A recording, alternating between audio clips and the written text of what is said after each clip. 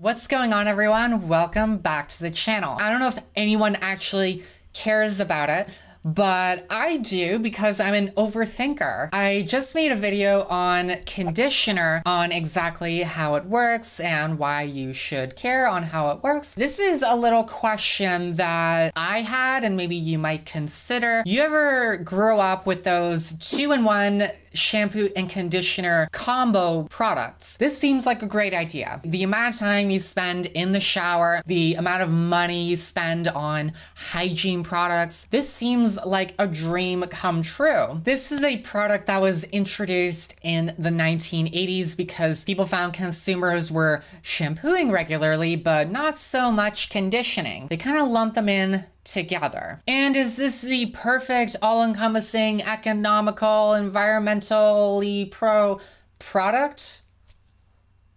It could be, but it's not going to help your hair. These products are totally opposite. They work scientifically totally different. One is supposed to come after the other. And I'll just brief you on kind of what I mean. Conditioning ingredients are what are called cationic in the sense that they give a positive charge. But most of these surfactants and shampoos tend to be anionic in the sense that they give a negative charge. So you got positive and then you got negative. In order for a shampoo to work properly, it fully cleanses your hair and that strips the outer layer of the oils, the peptides, the proteins. That's how it cleans it out. For it to work, it needs to pretty much strip your hair raw. This is why you come in with a conditioner afterwards to restore that outer layer to health. That's why it leaves kind of like a dulling film on your hair to kind of make up for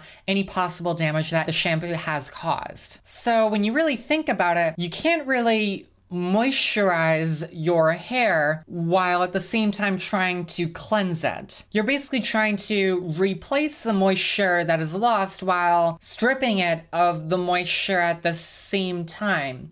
You get what I'm saying? It's kind of like applying a moisturizer to your face that is also a cleanser.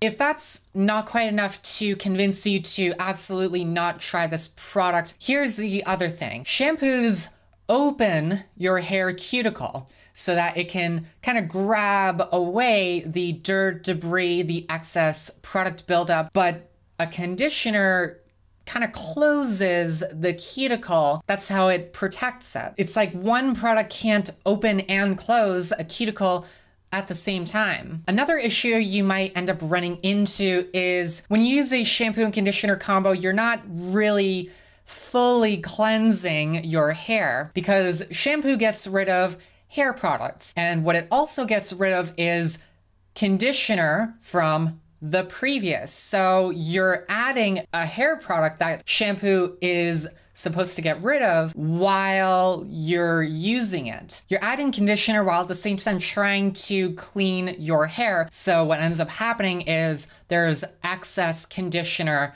buildup. You'll find your hair starts to look kind of weighed down, a little kind of greasier than usual. And by the end of this, when you're trying to save some money, you know, spending money on a clarifying shampoo just to fully strip your hair of all of the excess product buildup in order to just start from square one. So in conclusion, it could be a decent time saver on some occasions. Maybe if you're away from home, you're on vacation, that's just one less bottle of product that you need to keep.